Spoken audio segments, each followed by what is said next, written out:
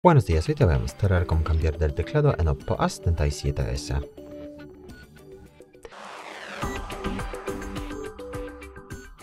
Para eso accedemos a la aplicación Ajustes y aquí más abajo buscamos la pestaña. Ah, en este caso Ajustes adicionales es una de las últimas.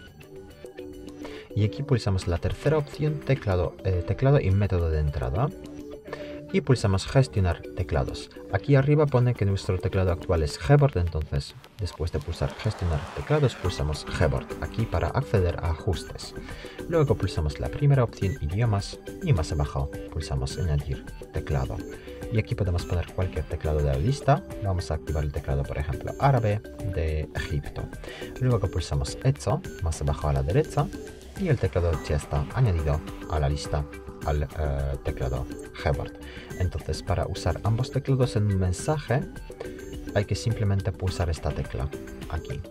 Ahora usamos el teclado español, ahora el árabe. Eh, si, pulsa, si mantenemos presionada la tecla, podemos ver la lista de teclados. Y si queremos eh, eliminar uno de los teclados del dispositivo, hay que volver a la lista de idiomas. entonces lo podemos hacer desde aquí pulsamos simplemente configuración de idiomas y para eliminar el teclado árabe hay que deslizar el dedo hacia la izquierda de esta manera y ya está. Muchas gracias por ver el vídeo, te invito a comentar abajo y suscribirte al canal. Hasta luego.